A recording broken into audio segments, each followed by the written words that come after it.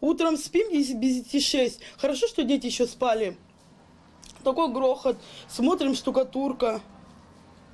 Да, прямо большая. Повезло и вчера, когда потолок снова обвалился, детей дома не было, говорит Надежда Кузнецова. Под угрозой в этой аварийной квартире в бараке на рабочей 121 живут ее двое детей, муж и свекровь. У нас как дожди, у нас все льет домой. Вот эти специально мы повешали, чтобы дождик э, капал сюда, а не мимо. Вот здесь все по окнам бежит. В соседней комнате почерневшие от плесени обои постоянный запах сырости. И так уже пять лет минимум, говорит Надежда. Чтобы было понятно, насколько дом опасен, она завела нас в соседнюю пустующую квартиру. Здесь вам видно небо. Аварийным дом был признан в 2015 году, и тогда Черногорская мэрия выпустила вот это постановление со сроками сноса здания. По нему барака и в помине быть не должно уже год.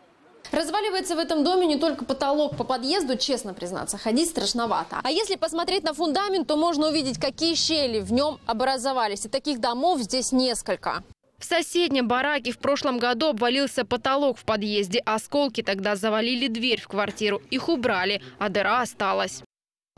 26 февраля был суд в Абакане, арбитражный суд был. И нам сказали, чтобы нас переселили до 1 мая этого года. Но до сих пор этого ничего нет. Добивается переселения Елена Мироманова не первый год. Тщетно. В городе нет жилья для переселенцев. Поэтому Москва будет помогать. С этого и по 25 год столица даст денег на квартиры. Но золотых гор ждать не стоит. В 2019 году новое жилье увидят максимум 7-8 семей. Как нам будут предоставлять Москва финансирование, так мы и будем расселять их. Данный дом не первый по дате признания аварийным. Ну, то есть они могут до 25 года ждать, да? Ну, я не думаю, что 25-й, ну, 22-й, 23-й, это точно. Мэрия предлагает людям временное жилье, но редко кто соглашается, потому что, например, на семью с тремя детьми городские власти выделяют комнату в общежитии в 12 квадратов. Другого, говорят чиновники, у них нет.